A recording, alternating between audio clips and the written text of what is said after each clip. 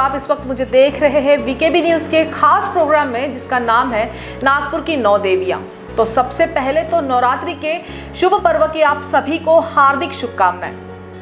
जैसे कि आप सभी जानते हैं कि नवरात्रि का पर्व शुरू हो चुका है और इस नवरात्रि के दौरान हम देवियों की पूजा अर्चना करते हैं। देवियों की मान्यता काफ़ी उच्च दर्जे की हमारे इस पर्व में मानी जाती है। तो उसी सिलसिले में आज हम मौजूद है नीरज जैन जी के साथ जो कि जाने माने इंटरनेशनल शेफ के नाम से जाने जाते हैं। तो हम उन्हीं से जानना चाहते हैं कि उनका ये जो क्षेत्र है उसमें इनकी क्या जर्नी रही कैसा सफ़र इन्होंने तय किया।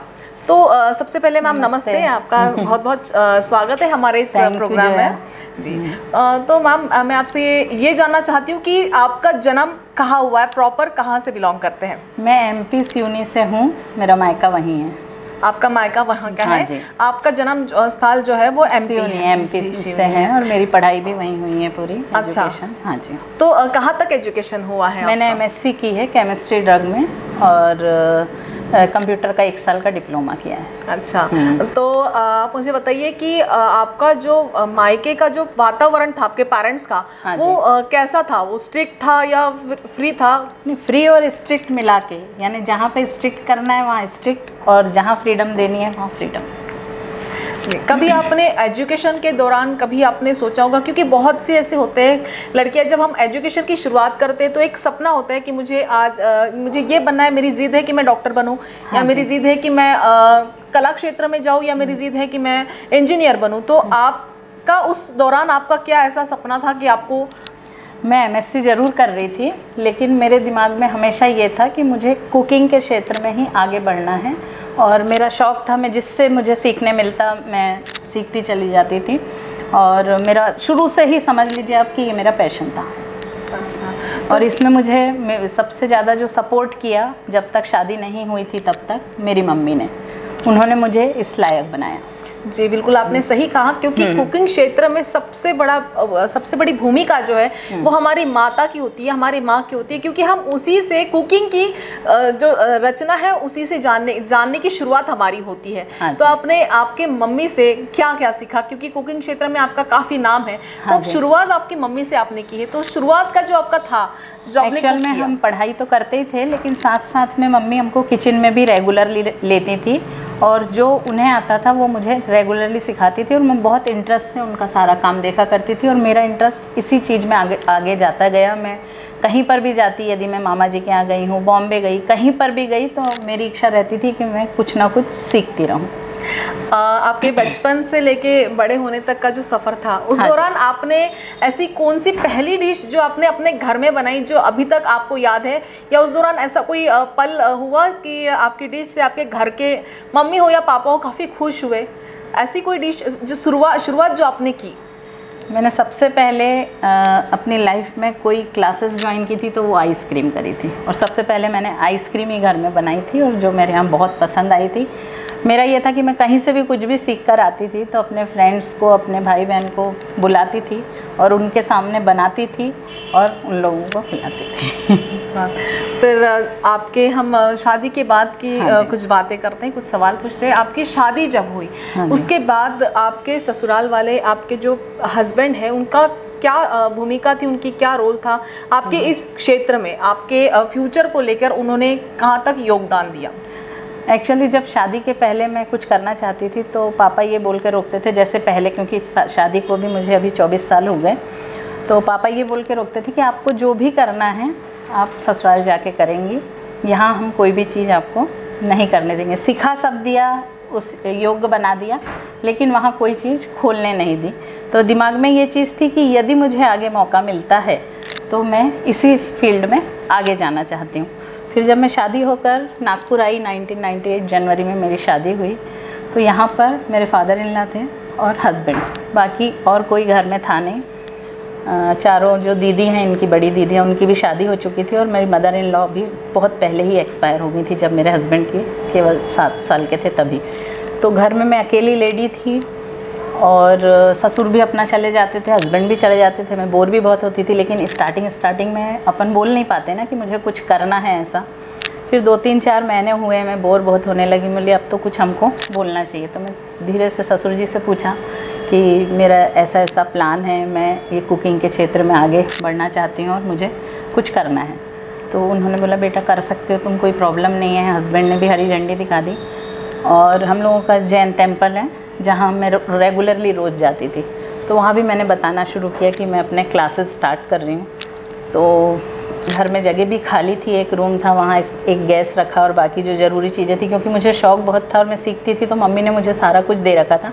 फिर भी जो चीज़ें नहीं थी, वो यहाँ पर ख़रीदे और उसके बाद बिल्कुल छोटी सी शुरुआत, शादी के तीन चार महीने बाद ही मैंने कर दी है चार पाँच महीने बाद ही मैंने ये वाली चीज़ की स्टार्टिंग कर दी। फिर इतना बड़ा शहर है नागपुर मैं छोटे से शहर की एमपी से आई हुई तो एक झिझक अंदर थी कि पता नहीं मैं सक्सेस होंगी या नहीं होंगी, यहाँ पर कैसा माहौल रहता है।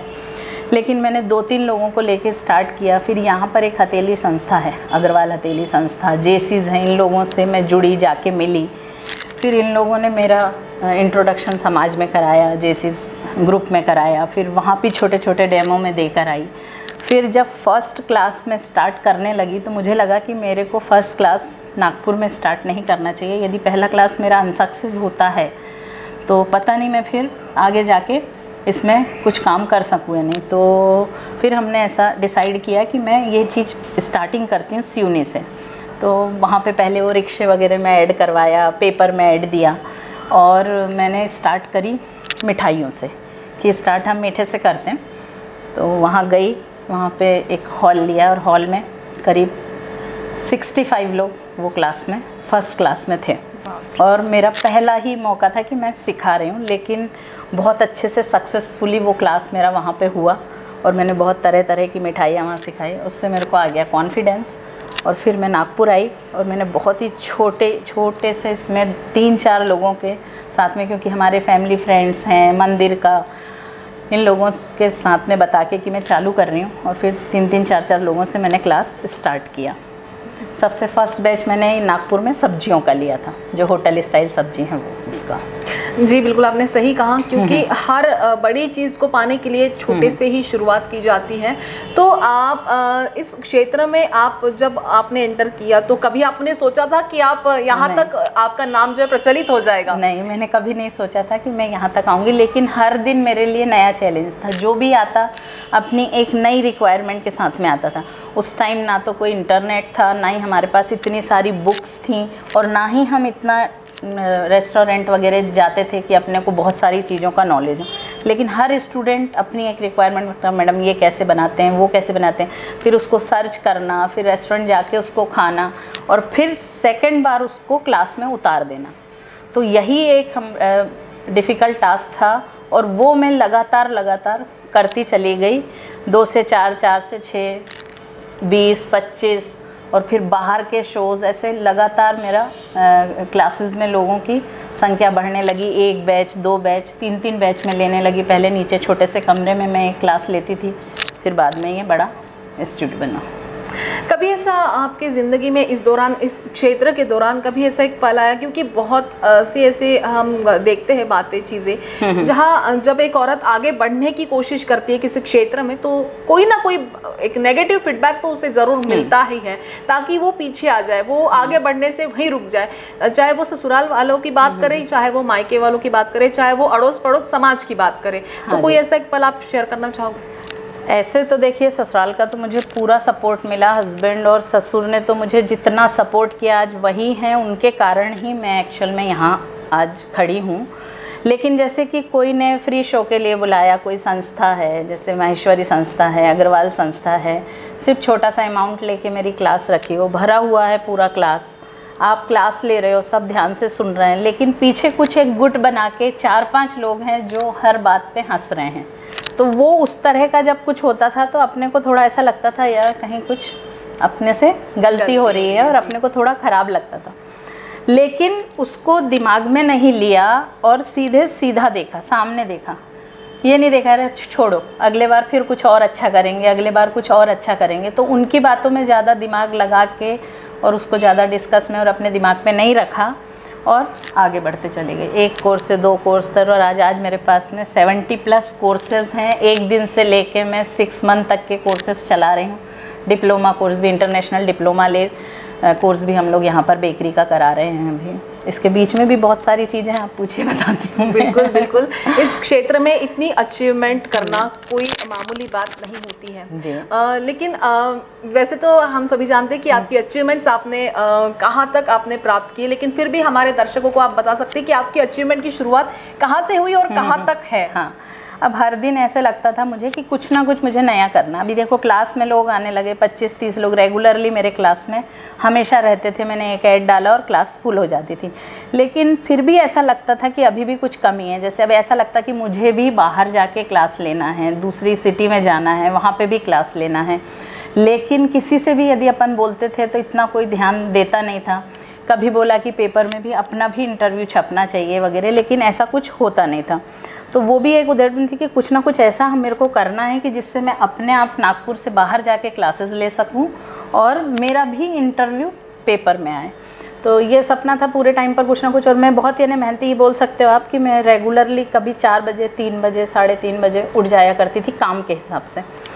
तो फिर एक बार मैं जब दिल्ली गई तो वहाँ पे मैंने एयरपोर्ट पे एक चॉकलेट बुके देखा जिसमें कैडबरी चॉकलेट लगी हुई थी। तो वो मेरे दिमाग में बैठ गया। मैं बोली, ये बहुत अच्छा प्रोडक्ट है, इसे मुझे भी लॉन्च करना चाहिए। तो फिर हमने उसकी सर्च चालू करी। मैं बॉम्बे गई। बॉम्बे में भी बहुत घूमी, फिर वहाँ से मोल्ड वगैरह लिए और उस छोटे से कैडबरी के बुके से मुझे एक प्रेरणा मिली और मैंने बोला कि मैं ये चीज़ आगे करूँगी। तो 2003-4 में मैंने ये चॉकलेट बुके बनाए और एक एग्जीबिशन रखी। लेकिन जिस दौरान मैं चॉकलेट बुके बना रही थी तो यहाँ पर मनीष अवस्थी की वाइफ भी मेरे क्लास में क्लास करना है तो मैंने उनको बोला कि मैं एक ना नया प्रोडक्ट बना रही मतलब क्लास में बोला कि मैं एक नया प्रोडक्ट बना रही हूँ और उसका मैं एग्जीबिशन रखने वाली हूँ। उन्होंने जाके अपने हस्बैंड से बोला कि भाभी कोई नया प्रोडक्ट लाने वाली हैं। तो उन्होंने आप जब भी वो चीज़ बनाएँगे तो मुझे बताना, मैं अपने हस्बैंड को लेके आऊँगी यहाँ पर। और वो देखेंगे। तो जब मेरे बुकेस तैयार हो गए, हम लोग बहुत मेहनत करके सामान पूरा बॉम्बे से वगैरह लेकर आए और यहाँ रात भर, रात रात भर जाग कर और बहुत सारे बुकेज हमने बनाए, किसी कारीगर की भी हेल्प ली और बुके बनाए और ये पूनम चैम्बर में जो गैलरी है, वो हम लोगों ने बुक करी और उनको बुलाया घर। उन्होंने बोले, मैं ना एक तारीख के आसपास आपकी जब एग्जीबिशन है तो नागपुर में नहीं हूँ तो मुझे आप कुछ बुकेस पहले दिखा दीजिए। तो हमने उनके लिए बुके तैयार किए और फिर एक इसमें रैक में बुके लगाए उनके लिए वो आए। उन्होंने बुके देखे उनको बहुत ज़्यादा पसंद आए बुके। और उन्होंने फिर अपना वही जो कौन सा था आज तक। आज तक, आज तक की टीम भेजी टाइम्स ऑफ़ इंडिया में फ़ोन किया सारे पेपर हितवाद वगैरह सब जगह उन्होंने फ़ोन कर दिया। मैंने प्रेस कॉन्फ्रेंस भी करी थी। और सारे की सारी टीम गैलरिया में आ गई। मैंने करीब तीस पैंतीस बुके और चॉकलेट के पैकिंग्स वहाँ रखे थे। लेकिन चॉकलेट के बुके होते महँगे तो उस टाइम पर सब लोग देख रहे थे, सबको बहुत अच्छा लग रहा था, नया प्रोडक्ट नया प्रोडक्ट लेकिन ख़रीद कोई भी नहीं रहा था। ना तो मेरी चॉकलेट पैकिंग भी की और ना ही मेरे बुकेज, एक दो बुके और छोटी छोटी पैकिंग, बस इसके अलावा सारा का सारा माल दो दिन में अंदर। लेकिन उसमें ये चीज़ हुई कि सारे पेपर वाले और सारा मीडिया आके मेरे बुके को बहुत सराहा और सबने बिना कोई मतलब यानी कोई इन्वेस्टमेंट नहीं था नहीं तो बोलते आप ऐड दो ये करो। अपने आप सारा इंटरव्यू ले लेके हाफ़ हाफ़ पेज का छापा। बाय सब जानना चाहते हैं। मेरा फेवरेट कलर मेरा फेवरेट डेस्टिनेशन मेरी फेवरेट डिश पर कोई ये नहीं पूछता कि फेवरेट डिश मैं बनाती कैसे हूँ। अरे यार जिसे टेस्टी खाना पसंद है वो अच्छे टेस्ट तक पहुँच ही जाता है। सुरुचि मसाले।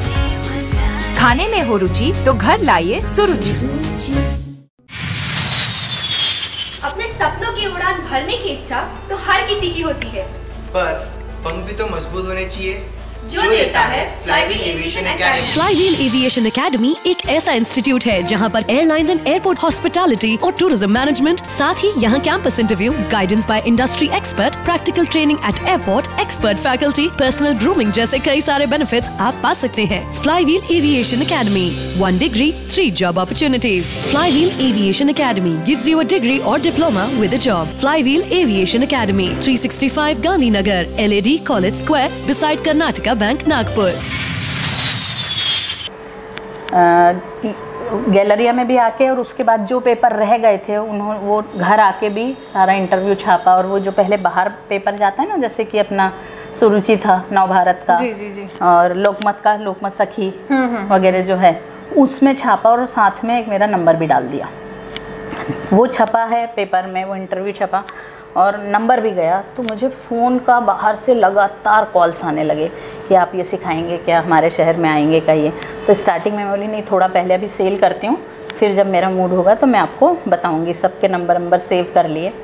फिर नागपुर में सबसे फ़र्स्ट क्लास हुआ माहेश्वरी समाज के साथ में चॉकलेट बुके का।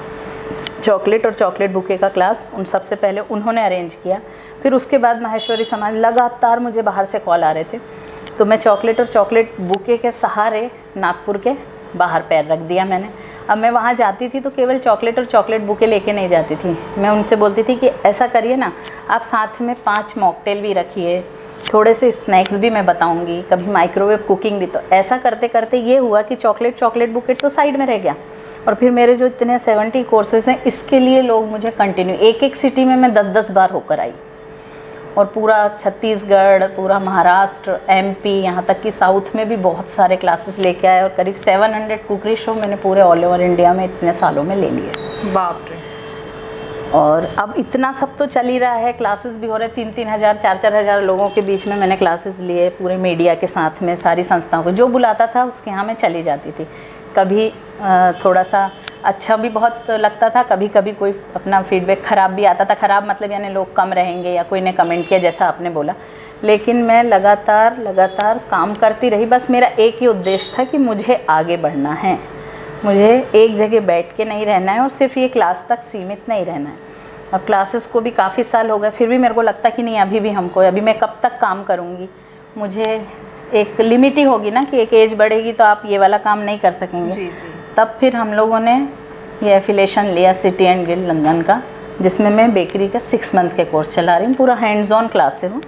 उसमें पूरा स्टूडेंट अपने हाथ से करता है। अभी आप पीछे देखें ना क्लास जी, को जी, जी। तो वहाँ एक टेबल पे दो स्टूडेंट रहते हैं। और इस बीच में मुझे अवार्ड भी बहुत सारे मिले। नेशनल इंटरनेशनल बहुत अवार्ड अभी आपको मैं दिखाऊँगी कितने सारे अवार्ड कभी रोटरी का तो कभी लोकमत का कभी दैनिक भास्कर का कभी संस्था का बहुत सारे अवार्ड मैंने इकट्ठे किए। ये तो रही आपकी कामयाबी की सीढ़ी। हाँ जी। लेकिन इस कामयाबी की सीढ़ी में कहीं ना कहीं उतार ज़रूर आता है। तो आपको अ, ऐसा कोई पल याद है जहाँ पे आपको लगा कि नहीं अब बस हो गया अब मैं गिव अप कर रही हूँ मुझे नहीं करना है ये हाँ, मुझसे नहीं हो पा रहा क्या होता है ना कि जब आप कोई काम करते हो और सक्सेस आपको मिलती तब आपको अच्छा तो बहुत लगता है लेकिन ऐसा होता है कि कहीं ना कहीं कोई चीज़ कंप्रोमाइज़ होती है है ना? जी, जी। क्योंकि आप उस उसको करते करते आप कभी अपनी हेल्थ को ध्यान नहीं देंगे कभी घर की तरफ़ ध्यान नहीं देंगे तो ऐसा हुआ तो कभी कभी लगता है यार क्यों? इतना क्यों? कैसे जा रहे हैं? वो फील मेरे को अभी आने लगा। लेकिन फिर भी मेरे को अभी रुकना नहीं है अभी मेरे बहुत सारे ख्वाब हैं मुझे आगे बढ़ना है। बिल्कुल आपकी जिद आपने यहाँ तक ठान ली और वो भी पूरी भी हुई है आगे चल के भी आपकी जिद पूरी हो यही हमारी अपेक्षा है। लेकिन अ, मेरा ये कहना है कि जैसे होता है ना कि कोई ऐसे पल हमें काफ़ी तकलीफ़ पहुँचा जाते हैं कोई भी क्षेत्र में महिला अगर आगे बढ़ती है कोई ऐसा घटना हमारे साथ घटित होती है जिससे चाहे वो अ, साथ में सामने वाले आए हो या फिर साथ में जो आए हो कहीं ना कहीं ऐसा कोई घटना आपके साथ घटी है जिससे आपको इस क्षेत्र से आपका मन उठ सा गया कि नहीं बस अभी नहीं ऐसा तो नहीं हुआ है मेरे साथ में। कभी मतलब आपको positive मुझे ही- पॉजिटिव बहुत ज़्यादा हूँ मैं। मुझे नेगेटिविटी वाले लोग पसंद नहीं है। यदि मेरे पास आके कोई नेगेटिव बात करता है तो मुझे नहीं अच्छा लगता। मुझे मेरे को हमेशा ये आदत है कि मैं सामने देखूँ। मेरे साइड में क्या हो रहा है, इस साइड में क्या हो रहा है, उसकी मुझे ज़्यादा आदत नहीं है। मैं किसी की नकल करने पे भी विश्वास नहीं करती हूँ। मुझे लगता है कि मुझे आगे जाना है बस। तो ये कोर्स हमने इसलिए चालू किया कि इसमें हम अलग अलग शेफ़ को जोड़ेंगे। कभी यदि हम काम नहीं कर पाते तो निराली का एक ये कोर्स पूरा एक साल का डिप्लोमा जो है, वो पूरा पूरे टाइम आगे चले। और यदि हम नहीं भी काम कर रहे हैं तो भी ये काम हमारा आगे बढ़ जाए। और ये एक कॉलेज में कन्वर्ट हो जाए, ये इच्छा अभी मेरे अंदर है। बिल्कुल बहुत अच्छी बात है। अब जैसे कि प्रोग्राम हमारा नवरात्रि से रिलेटेड है तो हम हाँ नवरात्रि से रिलेटेड आपको दो सवाल ज़रूर पूछना चाहेंगे हाँ, कि नवरात्रि आपके लिए क्या मायने रखती है? आप क्या एक्साइटमेंट रहती है नवरात्रि के लिए आप? नवरात्रि में देखिए सबसे पहले तो माँ दुर्गा का इतना बड़ा ये जी, फेस्टिवल होता है है ना? उपास होते हैं गरबा होता है। हम दुर्गा जी देखने जाते हैं सब चीज़ें करते हैं वही सब हमारे लिए एक्साइटमेंट रहता है लेकिन। पिछले साल से कोविड हाँ, का। जो प्रकोप चल रहा है हाँ कोविड हाँ के मद्देनजर ये सब स्थगित कर दिया गया है। हम्म। अभी भी गरबा दांडिया को परमिशन नहीं दी गई है। तो इसके चलते निराशा तो काफ़ी है सबके दिलों हाँ में क्योंकि माता जी की शुरुआत गरबा से ही पहचान उनकी हाँ, होती है। हम्म। तो आपको क्या लग रहा है? इस इस वक्त मतलब ये फैसला सही है? कहीं ना कहीं सही है देखिए ये सब हमारे ही हित के लिए जो भी हो रहा है जो भी रिस्ट्रिक्शन लगाए जा रहे हैं सालों से तो नहीं लगे इसी टाइम पर लगे हुए हैं। तो वो केवल हमारे हित के लिए है कि ये एक पीरियड निकल जाएगा उसके बाद आप करिए जो करना है। कोई प्रॉब्लम आई नहीं, कहीं किसी ने, कोई ने रोका नहीं है। है ना? ये निगेटिविटी जो है, वो हमारे अंदर नहीं रहनी चाहिए। अब आपको इसका ही टाइम अपना कोविड के टाइम पर ही लॉकडाउन पीरियड का मैं बताती हूँ। लॉकडाउन हो गया, सारा स्टाफ ने आना बंद कर दिया। कभी हमने ऑनलाइन क्लासेस का सोचा नहीं था। सोच बहुत सालों से रहे थे, लेकिन इम्प्लीमेंट नहीं हो रहा था। है ना? उसके बाद भी अभी क्या करेंगे? बैठना नहीं है हमको। इक्कीस दिन का पीरियड है। तो कोई पहले होता था, अरे कैमरा टीम हायर करना है एडिटिंग वाला करना है काम एडिटिंग एडिट करके रहेगा, अपने पास क्लासेस है टाइम तो रहता नहीं है ऑनलाइन कहाँ से क्लास होगा? ना तो कोई एडिटर था हमारे पास में, ना ही कोई कैमरामैन था। हस्बैंड में और मेरा बेटा, क्योंकि मेरे ससुर की दो साल पहले डेथ हो गई। तो हम तीनों थे तो नीचे का पूरा काम करने के बाद में एक कैमरा हमारे पास में और दो मोबाइल हमारे पास में, उसी से आके हम थोड़े थोड़े शूट करने लगे यहाँ पर। पहले शूट किया फिर एडिट करने को दिया फिर जब वो एडिट होके आया तो उसको फेसबुक और यूट्यूब पे अपलोड किया। वो किया उसके बाद में धीरे से एक मीडिया ने बोला कि हमारे साथ प्रोग्राम करो। अप्रैल की बात है ये। मैं मार्च में मैंने खुद ने अपना किया मेरा देख के मीडिया ने अप्रोच किया मैंने उनके साथ पाँच दिन का लाइव शो दिया। उसके बाद मैंने अपने क्लासेस शूट करना चालू कर दिए। ठीक है क्लासेस शूट करके और क्लासेस को सेल करना चालू कर क्योंकि खर्चे तो आपके पूरे टाइम पर लगे हुए हैं, है ना? तो हम क्लासेस पे शूट करके और क्लासेस ऑनलाइन उतारने लगे, फिर लाइव प्रोग्राम देने लगे इसमें। वो करते करते मैंने बीच में गणेश जी का एक कॉन्सेप्ट रखा कि जब गणेश जी आए तो उसके पहले से ही मैं सोचने लगी कि अभी हम लोगों को मैं चॉकलेट गणपति तो 2016 से बना रही हूँ। तो मैंने क्या किया कि इसका मैंने वर्कशॉप रखा। कि मैं चॉकलेट गणपति बनाना बताऊँगी और वो वर्कशॉप के बाद आपको कॉन्टेस्ट में चॉकलेट गणपति बनाना है। और ये मैंने ऑनलाइन लिया।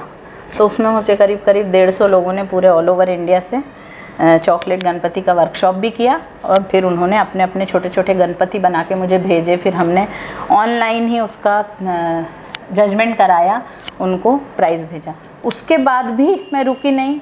फिर मैंने एशिया बुक रिकॉर्ड और इंडिया बुक रिकॉर्ड के लिए अप्लाई किया और मैं बोली, मैं वर्चुअल केक का कॉन्टेस्ट लेना चाहती हूँ ऑनलाइन तो हमने ऑनलाइन केक कॉन्टेस्ट एक साथ एक ही पर्दे पर, यानी कि जूम पर 400 पार्टिसिपेंट्स मेरे पास थे और एक ही वक्त पे 400 पार्टिसिपेंट्स अपने अपने घरों में केक डेकोरेशन कर रहे थे। उनको थोड़े से वो बता दिए थे कि आपको ये करके, तैयारी करके रखना है और 400 पार्टिसिपेंट्स ने हिस्सा लिया। और उसके बाद में वो पूरा जूम पे हम लोग सब पार्टिसिपेंट्स के पास गए। तीन चार घंटे वो प्रोग्राम चलता गया और मैंने एशिया बुक रिकॉर्ड और इंडिया बुक रिकॉर्ड उसमें मिला मुझे। तो ये तो रही आपकी जब से बोलने का मतलब ये है मेरा इतना सा बताने का यही मतलब है कि लॉकडाउन भी चल रहा था तो लोग एंजॉय कर रहे थे। जी जी जी बिल्कुल। अपनी फैमिली के साथ में लेकिन मैं रुकी नहीं। उस टाइम पर भी मेरा कुछ ना कुछ कुछ चल ना रहा कुछ चलता रहा। तो ये तो रही आपकी हम्म। जब से शुरुआत आपने की अब तक की जर्नी। हाँ तो इस जर्नी में ऐसा कोई मोमेंट आया कि आज मैंने सब कुछ हासिल कर लिया सबसे बड़ा अचीवमेंट आपकी ज़िंदगी में इस क्षेत्र से रिलेटेड क्या रहा? सबसे बड़ा। इतने आपने तो यहाँ तक सभी कुछ अचीव कर लिया है। हाँ। लेकिन फिर भी एक स्पेशल अचीवमेंट जो अभी भी आपको याद है और वो हमेशा याद रहेगा यादगार पल आपका जो। जो सब चीज़ सब अचीवमेंट में ये बोल सकते हो आप कि मैं जहाँ जिस जिस सिटी में जाती है और यहाँ पे भी मैं क्लासेस लेती तो सबका जो एक एक जैसा जो एक स्टेटमेंट आता है वो ये कि आपका पढ़ाने का तरीका बहुत अच्छा है। आप बहुत अच्छा टीच करते हो आपके हाथ का टेस्ट सबका अच्छा। देखिए नागपुर के लोग तो मुझे जानते हैं क्योंकि इतने सालों से क्लास में आ रहे हैं तो वो बोल रहे हैं लेकिन मैं जिस भी सिटी में पहली बार गई तो वो सब तो मेरे लिए नए थे उनके लिए मैं नहीं थी। लेकिन सब जगह से यही एक स्टेटमेंट मुझे मिलता है जो मुझे बहुत खुशी देता है और वो मुझे बहुत अच्छा लगता है। बिल्कुल। एक मेरा आखिरी सवाल है एक क्षेत्र में जो महिलाएँ आना चाहती है जो हाँ। आजकल होता है ना कि डॉक्टर्स भी सब बन चुके हैं इंजीनियर्स भी सभी है बहुत से ऐसे अलग अलग क्षेत्र जो है जिसमें हर महिला जो है हर इसमें आगे है। हाँ तो इस क्षेत्र में जो महिला आना चाहती है आप उनके लिए हमारे माध्यम से क्या मैसेज देना चाहते हैं? ये एक ऐसा क्षेत्र है जिसमें महिलाएँ बहुत आगे आ सकती हैं अपना बिज़नेस कर सकती हैं अपने घर से बिज़नेस कर सकती हैं। जिन्होंने सालों कुछ नहीं किया हाउसवाइफ हैं जो वो भी आज भी अपना बिज़नेस स्टार्ट कर सकती हैं। मैं पूरे टाइम अपने लाइव में यही बोलती आज भी मेरा लाइव था उसमें भी मैंने यही बोला कि आप कुछ भी ये मत सोचिए कि ये इतना छोटा सा है, लेकिन आप थोड़ा सा, छोटा सा कोर्स भी करके और प्रोफेशनली उसको अपने घर से लॉन्च कर सकते हैं। जैसे प्री मिक्सेस हैं, उसको बना के आप सेल कर सकते हैं। स्नैक्स के प्री मिक्स है ग्रेवी के प्री मिक्स है। आप अभी जैसे दीपावली आ रही है तो गिफ्ट हैम्पर का बहुत ज़्यादा रहता है। तो उसमें चॉकलेट के गिफ्ट हैम्पर बना के आप सेल कर सकते हैं। केक है टी टाइम केक है कुकीज़ है, ऐसे बहुत सारी चीज़ें हैं जिससे लेडी अपने पैर पे खड़ी हो सकती है। यहाँ तक कि यदि आपको अच्छा खाना पूरा बनाते आता है तो आप छोटे छोटे किटी पार्टी के, बर्थडे पार्टी के ऑर्डर्स ले सकते हैं। आजकल क्या है ना, ऐसा ज़माना है कि लेडीज़ ज़्यादा बहुत काम करने में इच्छुक नहीं रहती, वो बोलती सीधे ऑर्डर दे दो। और इस टाइम का जो सिनारियो चल रहा है, उसमें ऐसा है कि लोग होटल से ज़्यादा होम डिलीवरी जो कर जी, रहे हैं। उनके ऊपर विश्वास है कि हमको हाइजीन मिलेगा तुरंत का बना हुआ ताज़ा मिलेगा। तो ये सब चीज़ें भी लेडीज़ वो कर सकती। बस उनको अपने अंदर रखना है कॉन्फिडेंस और निगेटिव थॉट नहीं लाके पॉजिटिव थॉट अपने अंदर लाके और काम को यदि स्टार्ट करेंगे तो सक्सेस हमेशा मिलेगी। बस सक्सेस के पीछे एक ही चीज़ है मेहनत मेहनत और मेहनत। बिल्कुल बहुत अच्छा कहा और इनकी जर्नी सुन के मुझे कुछ दो पंक्तियाँ याद आ रही है। जो ना कभी थकी है, जो ना कभी हारी है, जो ना डरी है, जो आगे बढ़ती गई, वही नारी है। तो जैसे कि आप सभी जानते हैं कि औरतों में अन्नपूर्णा देवी का वास होता है। बस खुद की पहचान की ज़रूरत है, उस टैलेंट को पहचानने की ज़रूरत है और हुनर को पहचानने की ज़रूरत है। बस आप वो पहचान लीजिए, आप कभी हार नहीं मानोगे। और जैसे कि नीरज जैन मैम ने कहा है बस आप इनका मैसेज हमेशा याद रखिए और इनकी ज़िद, आज इन्हें कहाँ तक, इनका सफ़र जो है, आज इन्हें कहाँ तक पहुँचा गया है, ये आप सभी ने जाना है। तो बस आज की इस खास मुलाकात में बस इतना ही। आपसे कल फिर मुलाकात होगी। तब तक देखते रहिए बीकेबी न्यूज़ नमस्कार। नमस्कार।